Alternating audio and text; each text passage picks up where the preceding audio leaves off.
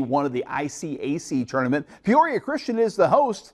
Tonight, the top seed Illini Bluffs playing North Fulton. Wyatt Hendel hits a three right here for North Fulton. Then Jack Murphy, he hit back-to-back threes. IB jumped on top 13 zip and never looked back. North Fulton gets a three by Quentin McAllister, but Illini Bluffs one of the tallest teams in 1A, and they, uh, they're tall and skilled. Brandon Coates throws one down right here. then Hank Alvey comes up with a steal, and Big Hank is flying in for a dunk. Later, it's a little showtime. Coates is going behind the back to Alvey. They each had 14. Illini Bluffs rolls to the victory. Game two, Brimfield ROWVA. Brimfield taking out ROWVA Williamsfield. Bob Anderson's team in charge in this one. Braxton Rylander, the baseline jumper for ROWVA Williamsfield. Brimfield gets three by Brady Johnson, but physical performance too by ROWVA Williamsfield. Graham White works the glass for the three-point play.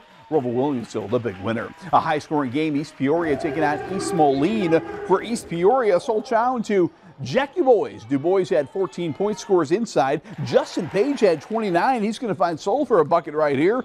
But East Moline's going home on I-74 with an 83-70 victory. To girls hoops, one near upset, one big upset tonight. We start with Class 3A Power Peoria Notre Dame at 1A Elmwood tonight to take on the Trojans. And Notre Dame in trouble. Elmwood playing the game to their tempo and pounding the ball inside to their senior star, Liv Myers. Myers scores right here. Then Bree Turner to Myers for another bucket. This game was close throughout. Maya Wardle to Amira Breedlove. Breedlove, the strong move for the Irish right here. Then Julia Mingus to Caitlin Cassidy, and by three.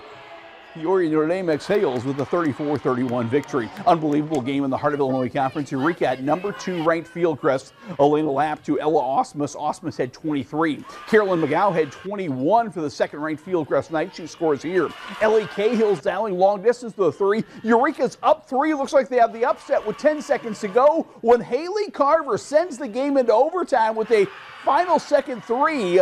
But in overtime, here comes Eureka again. Lapp to Cahill for the and one. Ellie had 24 points. Then Cahill to Reagan Linder for another bucket. And Eureka pulls off the victory. Eureka takes home that Heart of Illinois Conference trophy. They win it tonight by a score of 68 61. Eureka Hornets. Also in the HOI, don't forget about Dee-Mack. They're very much in this title race, joining those teams at 7 1. Galia DeJesus on the drive in the bucket for the Chiefs. Then McKenna Carruthers from outside dials a 1 2 3 from the corner. Later it's DeJesus again. And again, Dee-Mack is 7 and 1, right in the mix for top team in the HOI. Illini Prairie action, IBC taking on Bloomington Central Catholic. Sage Geltmaker is going to find Olivia Fager for the bucket. Nice kiss off the glass there.